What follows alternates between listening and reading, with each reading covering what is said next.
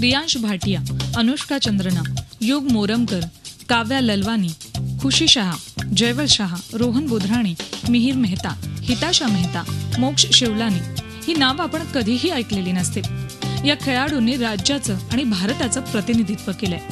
गुणवत्ता असूनही त्यांना जागतिक दर्जाच्या सुविधा मिळत नाहीयेत. मुंबईतही गेल्या वर्षीपर्यंत स्केटिंगचा ट्रॅकही नव्हता. गेल्या वर्षी सोमय्या कॉलेज परिसरात Somaiya Vidyavihar skating bank track बनवण्यात आला. हमारे पास ट्रैक नहीं है। मुंबई जैसी बड़ी सिटी में ये पहला ट्रैक है हमारे पास।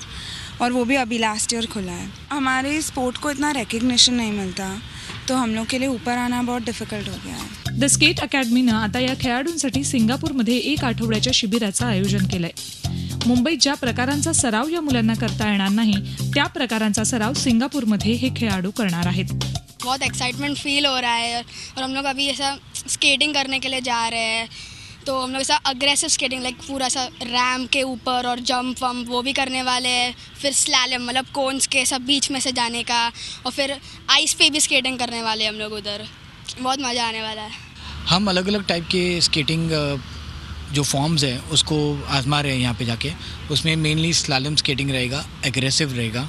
उसके अलावा हम स्कीम में भी बच्चों को इंट्रोड्यूस कर रहे हैं। उसके अलावा आइस स्केटिंग रहने, हमारे सेशन से लाइंड अप मैक्सिमम इंटरेस्ट जो बच्चों का है, वो है सिटी टूर ऑन स्केट्स तो हम नाइट सिंगापुर टूर कर रहे हैं ऑन स्केट्स जो मेजर अट्रैक्शन हम स्केट्स के थ्रू घूमेंगे पूरे सिंगापुर में।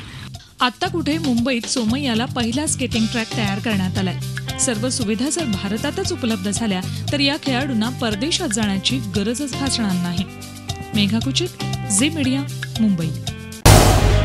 झी चोवीस तास रहा एक पाऊल पुढे.